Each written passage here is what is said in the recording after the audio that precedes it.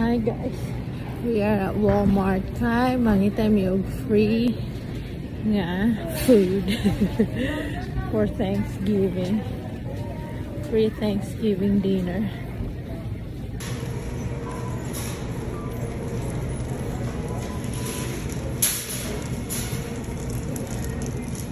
So, nahuman na pangkuha og free. So, tanan ako nga napalit karon or nakuha sa stores free.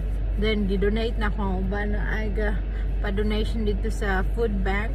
There is America. So, gidonate na ako ban kay di magamit tanan sa food man mga ma'am. So, madaot na. Nagabot din ha.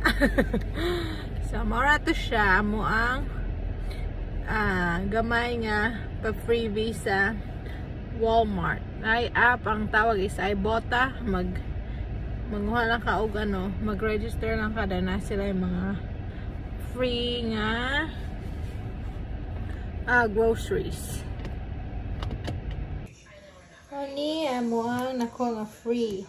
So duha ni siya ka buok kini first set duha ni ako nakuha. Ni free ready siya tanan ma'am. Nakuha na ko sa Walmart. Na ay app nga ngalan is Ibotta. Dinhi sa US, maghata sila og free Thanksgiving dinner. So, ibalik na nila imuhang cash through your bank account. So, mo ni siya free. Duha akong account. So, ako sa akong. Ang isa, gi-donate na ko sa food bank para makatabang punta din hino sa mga walay food. Okay. Di man na ito na makaon tanan, madaot lang. So, muna siya, mong giad ko karon para makuha na mo mga freebies. O lang na siya.